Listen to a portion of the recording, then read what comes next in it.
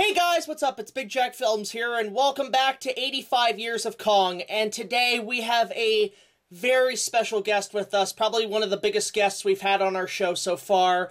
Um, this is going to play out as kind of a podcast, essentially, and uh, we're just going to have an interview with this really amazing person. Uh, please help me welcoming Mrs. Mary Guillermin, who is the uh, wife of one John Guillermin, who directed the 1976 King Kong, which is my personal favorite film of all time. So, figured I'd just uh, bring her on and uh, we'd have a chance to talk to her. How you doing, Mary? I'm doing fine, thank you. Um, I don't know if all your vi- viewers know I'm the widow of John Guillermin. Yes, of who died in 2015. And I should say, I think that I'm the second wife, um, so that I have the stories he told me, but I wasn't there when he was directing. So I'm just letting the listeners know that that's that's what I have to give, no more. All right. Um, but yeah, we have a couple of questions for you. Uh, I think the, the main thing we do want to discuss too is John himself um, as a director and also as a person, because I think one of the things that like a lot of the media pushes and everything with John is that he was kind of he was very angry on set, but in reality he was the sweetest guy as as far as I'm concerned, and he created such amazing films, Towering Inferno, Kong 76. Even King Kong Lives, I'm like, I like that movie. You know, I don't know if not many people like it, but I'm like, I love it. I think it's a decent sequel. Um, but yeah, how was John as a person? How was he as a, um, you know, as a director and everything from your perspective? Well, I can't really answer how he was as a director because of meeting him uh, eight or ten years after he retired. But as a person, he was pretty much what you described in those two sentences. He, he had a temper. It was especially bad when he was trying to write screenplays. Like that's the post-retirement version of being on set and trying to get everything perfect, which I think was part of the reputation he has about shouting at the crew was that he was quite a perfectionist. Are you okay, or is that echo interfering? Oh, it, it sounds it sounds perfectly fine. Sounds all right, your end. So, um, but some of it, I think, is a misunderstanding about his Frenchness. Uh, I once heard a story, I think it was at the memorial showing that I put on of uh, his masterpiece, Rapture, uh, locally here in Topanga. And someone told me about a friend of theirs who was a French director uh, in here in LA.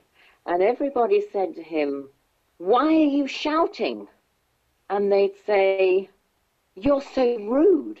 And he'd go, What's going on? I'm I don't think I'm shouting. I don't think I'm being rude. And the French are very passionate, right? And John was very passionate. Like, for example, right, he died at nearly 90, right up, nearly up until his death. If we were listening to a truly amazing saxophone or clarinet jazz solo, like the one that Woody Allen uses at the beginning of Midnight in Paris, he would be sitting in his chair playing an imaginary clarinet, and every fiber of his being was playing this imaginary clarinet. Or if we were listening to the slow movements of Mozart, he'd be crying, and he'd look at me and he'd say, Are you crying? And it was like a test. I was supposed to be as sensitive as he was, and luckily for me, I was. Right? So that's not very English behavior. People you think of him as English American because that's where he grew up.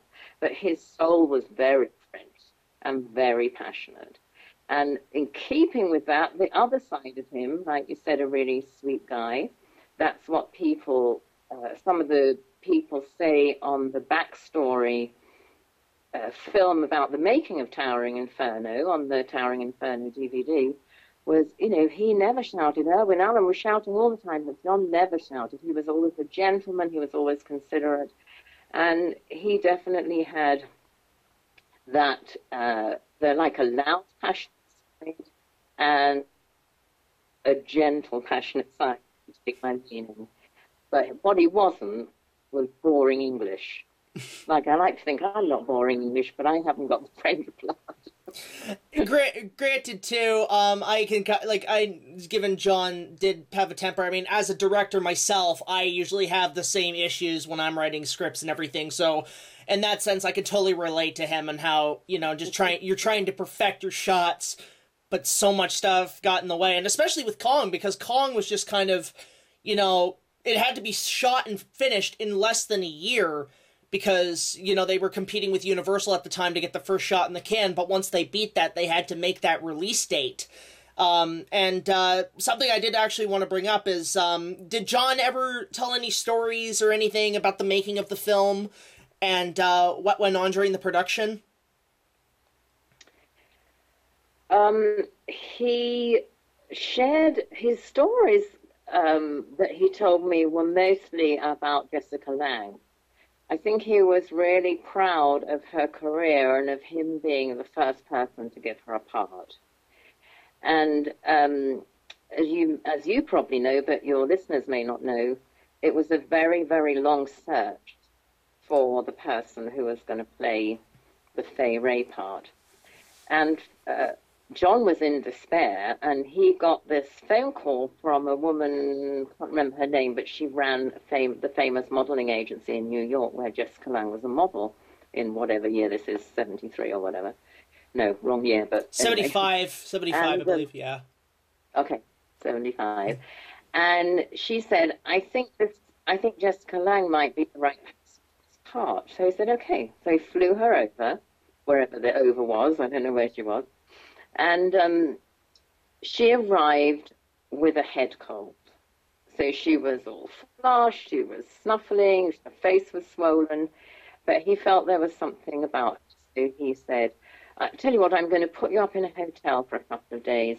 Um, when you better, come back and we'll do a screen shoot. And again, I think his memorial, somebody told me, he didn't tell me this bit, but when he saw the first rushes of the screen test, he was so excited that he kicked over the chair in front of him because he went, Yes, you know, this is it, this is it, I found her at last. And um, of course, she hadn't acted. It was her very first film. And the other thing I remember him telling me, and this is something that really touches me, something I really love about my husband, and I am with some other people uh, very slowly producing a book of essays uh, about his work. And um, what he had was an ability to really understand the beauty of femininity, both in its strong version, like with the um, people in China, the women in China, and the vulnerable version of femininity, the soft, yielding femininity that Jessica Lange so was in this her first film. Fantastic. And when she was, sorry, she was fantastic, absolutely fantastic. Right.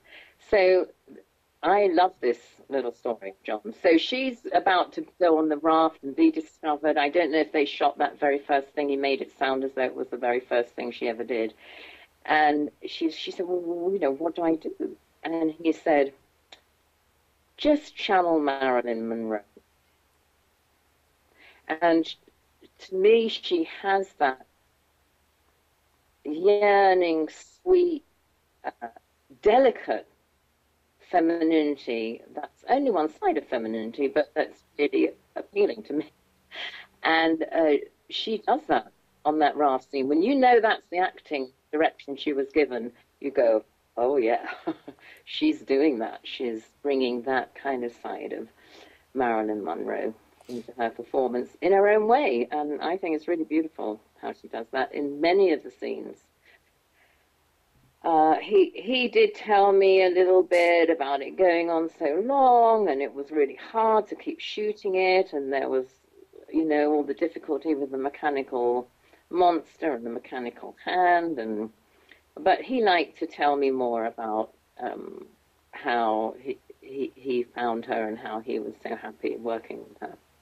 She seemed, and she is definitely an incredible actress. I know some of the other audition choices at the time, and it was mostly mixed because with the Universal production, uh, they were thinking uh, Barbara Streisand and even Meryl Streep at uh, some points were considered for the role. I think even Cher was considered at some point. But yeah, Lange definitely fit the bill on that part, and she nailed it completely. And I can totally see, yeah, like n- now thinking about that, going for Marilyn Monroe, that's totally what it is, and she does it brilliantly. When she was on the raft, uh, from what I heard, when she was on the raft and she was doing that scene where she's first introduced, there were actually sharks circling the raft when they were shooting that scene. Yeah, they were, they were, they they were, and she didn't know. They didn't tell her until like afterwards. That's funny. Yeah, and uh, so yeah, the the production was incredible. The, did he ever talk about any of the locations like Hawaii and shooting in New York and whatnot? Like, did he ever talk about how amazing the locations and sets were on the production? Yes, he did a little bit. Yeah, he he really loved Hawaii, and um, he he was very happy that they found such beautiful scenery. And I think I'm very happy with how he had it, you know, how he directed the scenery into the film, you know. And um, he did talk to me about the what an amazing experience it was going to the very top of the World Trade Tower when it was there, you know, Yeah. in the film. I think he went out a little bit onto the plank to put, put some kind of plank between the buildings, presumably to do with getting shots or something. And I, I think he told me he went out a little ways on it, but it was too scary or something like that. I can't quite remember. hmm Did he ever talk about? very- Oh, go ahead. Go ahead. John Bridges. Uh, sorry, Go ahead. I was just going to say he was very fond of Jeff Bridges. Oh, Jeff Uh, Bridges. he really enjoyed working with him. Yeah, because he was like he that was like he was already a huge actor at the time. Uh, from what I heard, he want Jeff wanted the part. He actually loved the original as a kid, and he would actually fake sick to watch it on Uh. television. So it was kind of natural that he would uh, be a part of it. So like, yeah, did I mean John really admired Jeff, and probably even Charles Grodin as well. Um, did, do you have anything to say about those guys? No, you know, when when I met him, he didn't have a single copy of any of his films, and because VHS and then DVD were coming more into circulation, I started collecting them. And when we watched them, he'd say, "Don't remember a single shot." And then he'd say, not, yeah, yeah. Uh, and then he'd say, not bad. He never once remembered a shot.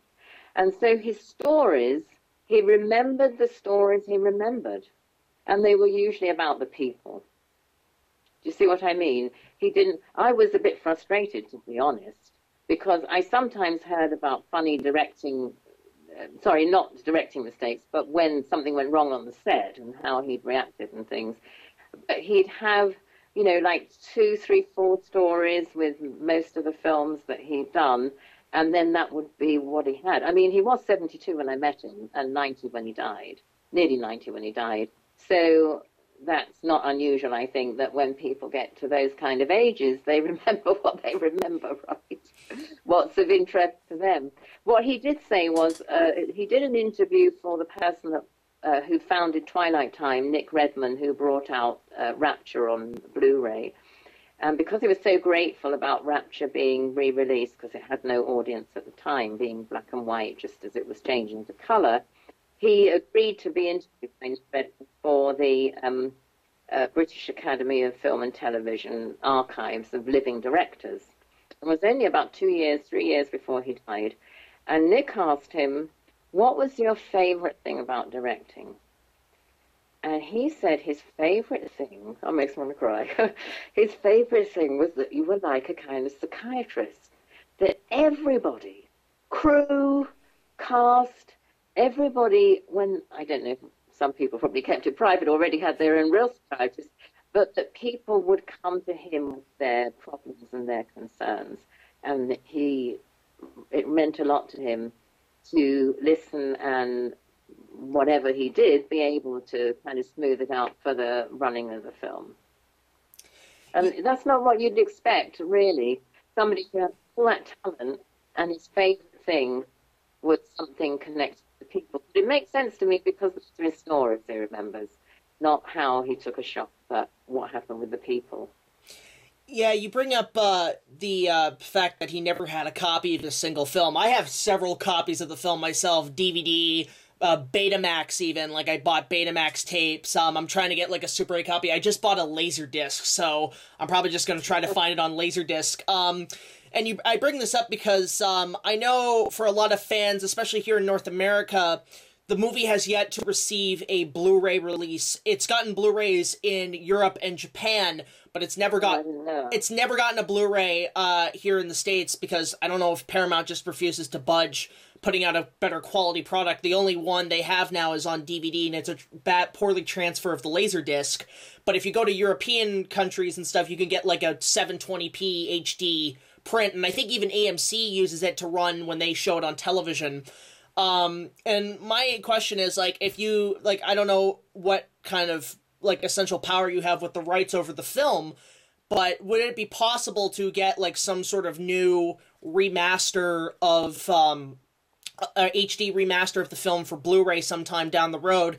And if so, I know a lot of people would love to see the extended TV cut restored because the only way you can unfortunately get it is through when it was taped on television or if you have find like a 16 millimeter print. Um, would that be possible at all to get a, a, a remaster of the film at some point? Well, not through me, and not even if John was alive. Um, I think I don't know if uh, Twilight Time have considered doing King Kong because they've done quite a few of John's films now. But it really depends on whether the particular company is prepared to, um, you know, give them a license or however that works. Like there's one film of, of John's called House of Cards that was one of Orson Welles' last parts. Not he wasn't the lead. It was one of um, George Peppard's films with John. He did about three, I think, and it's a really good little thriller. But I think it's Universal in that, and um, Twilight Time tried really hard to uh, bring that out, and they weren't allowing it. So, what can come out in these special new formats is entirely dependent on whether the studios are prepared to co- uh, cooperate with companies like Twilight Time, or in England, there's one called Renown Pictures that does the black and white films. Uh, you know, whether they want to cooperate or not.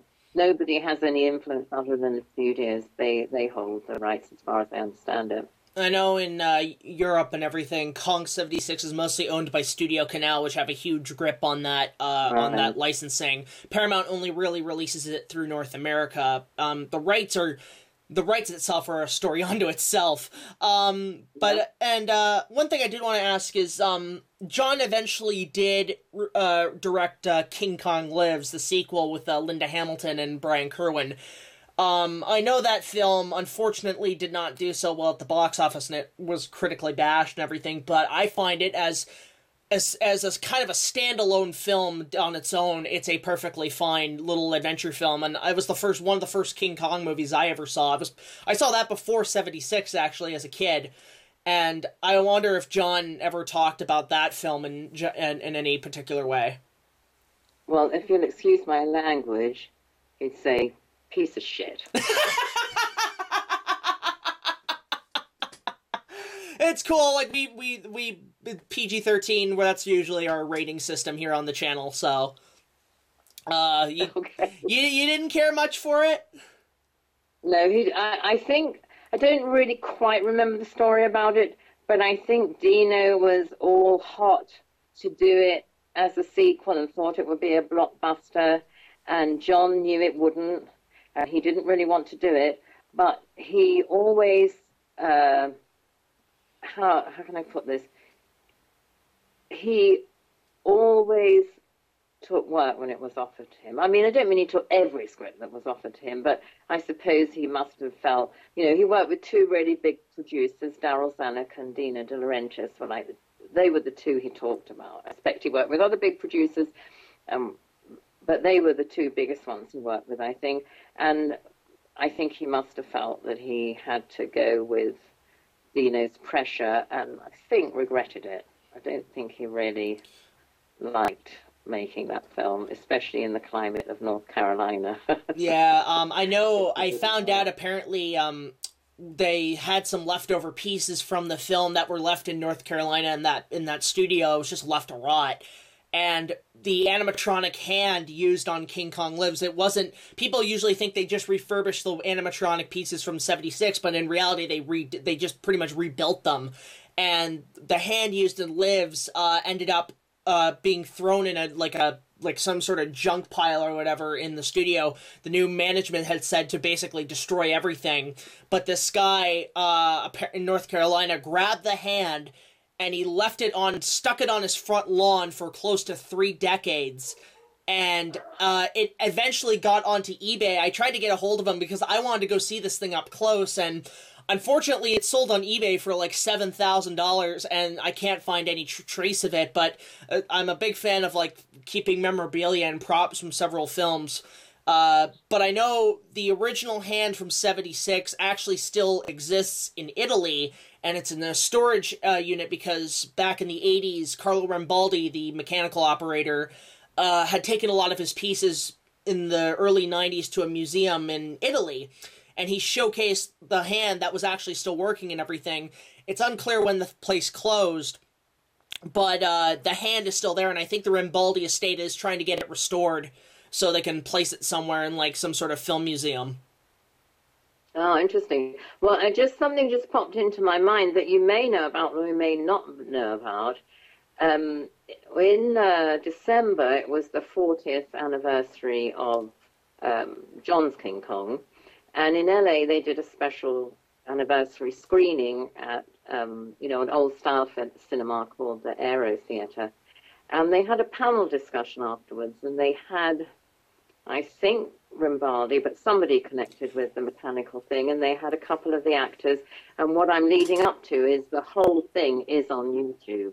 Oh yeah, I'll put a link. I'll, I'll, put a link down below for people who want to see the panel. I think uh, Rick Baker, who was in the Kong suit in '76, right, yeah. who incredibly talented guy. Um, he was a major uh guy on the panel and everything, and I I love Rick Baker. I've been following his work um ever since, and it's funny enough he ended up doing the another re- giant gorilla remake where he did the remake for Mighty Joe Young for Disney in 98 and he act and I remember he stated that that was the suit he wanted to make for Kong. But because they wanted to go because they wanted the producer Dino De Laurentiis wanted to go for more of like a man a human gorilla kind of hybrid and he was Rick was able to persuade them to say no we should make it a gorilla. And I think John actually liked Rick's performance over like everything else. And did he ever talk yeah. about Rick Baker at all no, he didn't. When I, when I was there in the audience when that panel discussion took place, so I learned more about King Kong from that than I did from John. It must have been great to see it as well, like on the big screen with an audience, because that's something I've always wanted to do is uh, watch it with an audience and like especially hear the reactions, especially to the humor of the film, because I think the humor is still really funny. There's like parts I just I'm I see the film and I just imagine a laugh track with it at some points. Yeah, no, no, you're absolutely right. And the other thing that I yes, people did laugh. And the other thing that I noticed was that you can imagine that on the large screen, the fact that they'd had to do everything with green screen and old-fashioned techniques and no computer assistance showed a bit. But I'm a psychotherapist, and that what I am saying that is that I can kind of sense how people are reacting. And I was pretty surprised that the audience was as rapt in attention as though they were watching the latest computer animated graphics. And the the, um, the lack of sophistication in comparison with modern day computer graphics was obvious to everyone in the audience. But he gets that emotional life into it so strongly that everyone was spellbound. And there was and there was a big collapse, uh, not collapse, applause, applause at the end. You know, it really was a very moving experience as his um, widow to be there. You know, he was only a year dead then when that anniversary happened, and it was a very moving experience to be with you know a couple of hundred people who were loving that film. Yeah, I know. Every time I watch it, I do get a little choked up on it. It's um an incredible ending, especially like when they have like the actual piece of Kong, the big styrofoam Kong as it was, because they couldn't use the big animatronic, so they basically created a styrofoam version of it and they placed it in the World Trade Center Plaza. And there were times like the uh, the uh, crowds would come in, and I think there was a. They said like Kong got mugged because I think one of his eyes was missing, and like one of the uh, glass eyes. Which actually, I found out that glass eye that apparently was stolen on the set actually ended up on a props website, and it went up for auction. And uh, so apparently somebody's bought in that glass eye. But the um, I wanted to bring up that styrofoam Kong because it turns out they had um, Carlo Rambaldi had sent it over to an amusement park in uh, in Italy, another amusement park, and it was there till like the early 90s and again it's hard it's hard to keep track of any of this stuff uh like especially all these pieces because some of these should belong in museums in my opinion. Um i'm a very big fan of like keeping track of a lot of props and pieces from some of my favorite films. There was something else i'd like to say about a comparison with the 2000 film is that okay? Yeah, yeah, that's great. Yeah, yeah, just speak your mind. Okay, so one of the things that really impresses me about John's King Kong that goes with what I was saying before about feeling he really understood, he really loved feminine femininity. He just loved it so deeply. He loved that about his first wife. He loved that about me when me we met, and the relationship between the giant ape and Jessica Lange in John's film is very tender and not sexualized. Right? It's there's a sense sensuousness there. There's a real human, if you like, connection there. It's very emotional and it's very sensitive. And when I saw the 2000 version, I, I was creeped out by it, if it's all right to say that in a public place, because it was too sexual, sexualized the, the, the, the, relationship between, I've forgotten her name off the top of my head, Naomi the Watts. actress, Naomi Watts, is it? Yeah, yes. Naomi Watts? Yeah. Naomi Watts, the ape, was like uh, unpleasant to me. And um, leave that to one side. I, I uh, John's ability to get inside the feeling of being a woman in different situations shows particularly in his many wonderful British black and white films that are not so well known over here. He was just amazing in that way. That's what I'm going to write about in the book I'm producing. Actually, uh, he, he was a very, very unusual man. Yeah, and speaking of the book, I might as well just, you know, we might as well put the plug in there. Yeah, so you're working on a book about John's life, and uh, what can we expect from this uh, book coming out?